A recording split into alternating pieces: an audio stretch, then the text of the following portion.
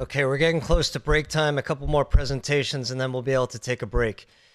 Let's start with this gentleman. He's 24 years old. He's an outfielder. He throws right and bats left. Why is that important? His right shoulder is his lead shoulder hitting under some stress. So we're going to consider treatment based on how to get him back to play. Seasonal timing is important. This is June, so it's the middle of the season.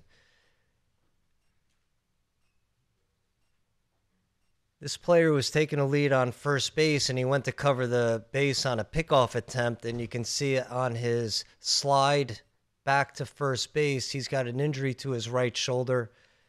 You can see how weak it is. Players say, I got this dead arm. You can picture this player saying, Yeah, my arm went dead. Okay, so there's some load there. This is his MRI scan. You can see that there's a Hill Sachs lesion here, edema pattern, injury to the labrum over here. So this is a instability event.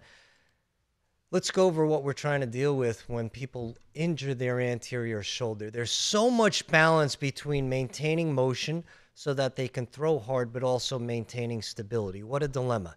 This is our dilemma. Taking care of these athletes, maintaining stability, and the setting of this enormous range of motion.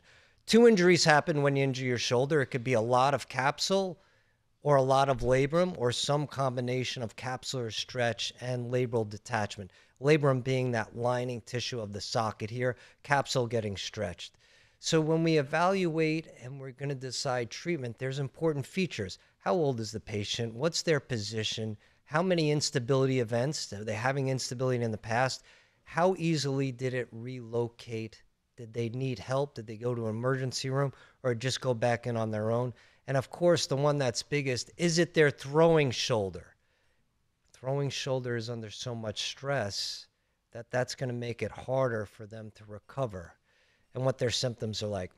We went over all of the physical exam today, which is uh, really fabulous. Here's a little bit of just redundancy on the physical exam. This is that load and shift test. This is a left handed throwing outfielder. You can see there is some translation both in the front and to the back. We're shifting the ball relative to the socket in different planes. He's asymptomatic. This is just him saying, okay, you can take my video. There's some dynamic labral shear testing for posterior labral tear, but also if you pull up on the shoulder and then push down, if they have symptoms of instability, it's relieved when you push posterior on the humerus. This is what the MRI scan looks like. Here's the schematic. You tear this labrum, it's really the attachment of that capsule that we saw in the cadaver dissection. And that's what gets injured. So the surgical indications, the purest indication for surgery is they tried to get better without surgery. It didn't work. That's the purest. But seasonal timing and career timing play such a big factor in this. It doesn't matter if you're in high school, college, professional, free agent it depends where you're going with your career timing, and we'll get into that more in the panel discussion. The degree of pathology, more pathology, more likely that they're going to fail non-operative treatment. We already talked about the throwing shoulder is under more demands. Here's some work that we did. It's trying to uncover what happens if you elect non-operative treatment. So we had some patients, multiple sports, so not very specific to say uh, baseball, but patients will choose, they make the decision on whether to have early surgery with the guidance of their physicians. And a large percentage will say, I, am going to get surgery. Could be the end of the season. They know their season's over. They got to get ready for next year. Some will wait and see what their symptoms are like. And if we go across this wait and see look, about half of them will go on to have surgery. So even if you try non-operative treatment, if you're a competitive athlete, especially collision athlete, and or if it's your throwing shoulder as a baseball player, you're going to wind up having issues about half the time and you're going to uh, elect to have surgery. So, non operative treatment here's 30% of people in this one study completed a season without recurrent instability, but there were in season instability events when someone says, I'm not having surgery, what typically happens is mom is nodding her head when you're talking about surgery, and the kid is going like this. There's no way. He's already tuned out. He's like, me, I'm, I'm playing next week. What does that mean? If you let the kid play and they dislocate again, they're likely going to have worsening pathology. That's the challenge with allowing someone to declare themselves. And there's a funny statement, you know, you never operate on somebody after the first dislocation, but always operate on them before the second dislocation. Okay, this is what the exam looks like if they wind up having surgery. You saw normal exam. This is what they'd let you do when they're under anesthesia. So that's what we're trying to do when they're not under anesthesia. When they're under anesthesia, they let you do that. This is a patient on the lateral position. So they're lying on their side. We're looking from the back. So you can see the humeral head on the top and the spinal needle. That needle there is showing the labrum. This is a dent in the back of the ball where it hits the glenoid on the way out. So you get what's called a Hill Sachs lesion, that dent.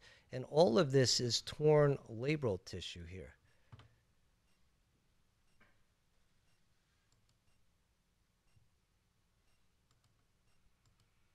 Okay, look, I got a pointer now. But I'm having a hard time advancing with the pointer.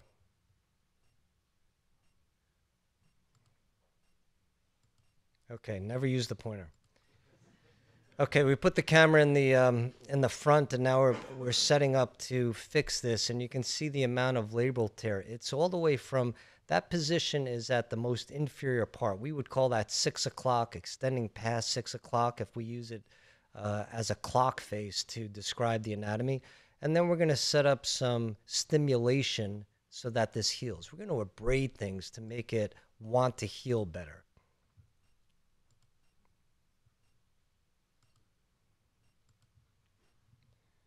Okay, Control Z usually helps me when I'm uh, when I want to undo. So it looks like you're gonna have to point, or you want to get me off the off the laser pointer.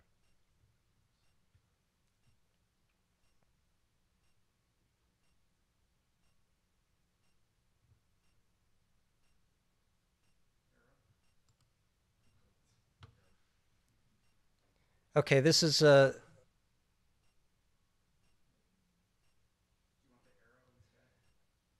just want to be able to advance the slides. Yeah, arrow. Just a cursor.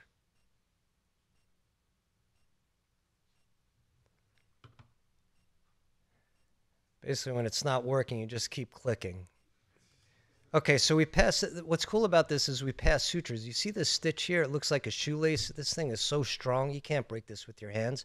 You pass it through the labral tissue and then you could push it into the bone. There's so much friction that you can put these implants in, and there's no need to tie knots. And you heard about SLAP lesions where if you tie knots, knots are devastating to the articular cartilage. And I think we heard from Hollis and others, we have an opportunity to repair things, but we also have an opportunity to do damage when we're in somebody's shoulder. So I, uh, in, in some ways, I'm embarrassed of, of the things that we did 10 years ago where we tied all these big knots, even though we were uh, fixing things. We had these implants that were abrading the cartilage. So we can get a nice labral repair like this. So that's just showing you what happens inside the shoulder. For those of you who are in the rehab side of things or athletic training side of things, sometimes it's good to see what happened and how it gets fixed.